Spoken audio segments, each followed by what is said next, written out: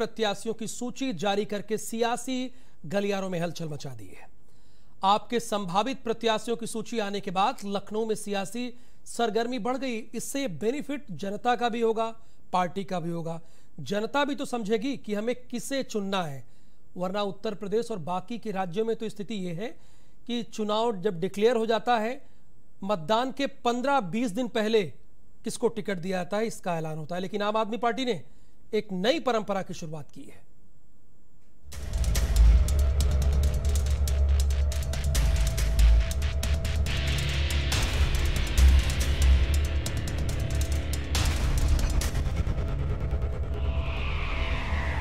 आम आदमी पार्टी ने विधानसभा चुनाव के लिए पूरी तरह से कमर कस ली है और सबसे पहले संभावित प्रत्याशियों का ऐलान करके सबको चौंका दिया। संजय सिंह ने लखनऊ में प्रेस कॉन्फ्रेंस करके पार्टी की तरफ़ से संभावित प्रत्याशियों की लिस्ट आज जारी कर दी।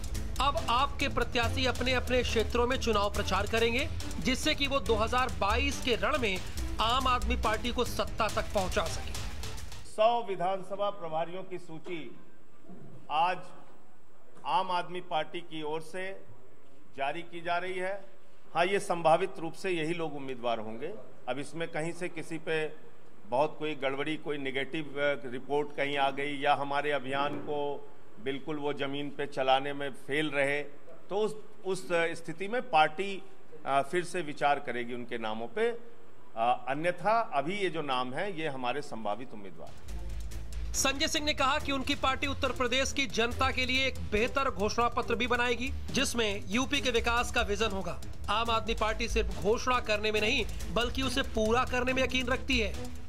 अभी जो घोषणाएँ होंगी, आम आदमी पार्टी के घोषणा पत्र में जो मुद्दे शामिल किए जाएँगे, उसमें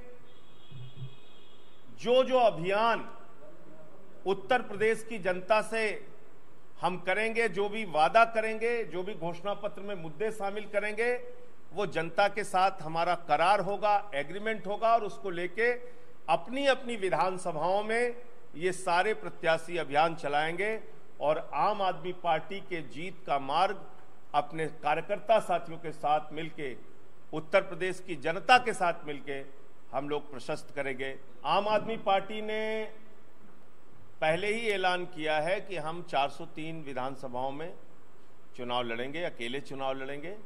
ये हमारे पार्टी के शीर्ष नेतृत्व का, पार्टी का फैसला है। उत्तर प्रदेश में केजरीवाल की टीम 2022 में विजय फतेह करने के लिए जी जान से जुट गई है। और सबसे पहले प्रत्याशियों की घोषणा करके संजय सिंह ने ये बता दिया कि वो 2022 के रण को बहुत ही सीरियसली ले रहे हैं, क्योंकि अब दिल्ली के साथ साथ देश के दूसरे राज्यों का भी विकास करना है। ब्यूरो रिपोर्ट, भारत समाचार। तो आम आदमी पार्टी ने तकरीबन 100 प्रत्याशियों का ऐलान कर दिया। ये 100 विधानसभा के प्रभारी हैं और यही प्रत्याशी होंगे, ऐसा संजय सिंह ने कहा। उत्तर प्रदेश में अगले साल होने वाले विधानसभा चुनाव से पहले बयानों का दौर चल रहा है। अभी सूबे में अब्बाजान को लेकर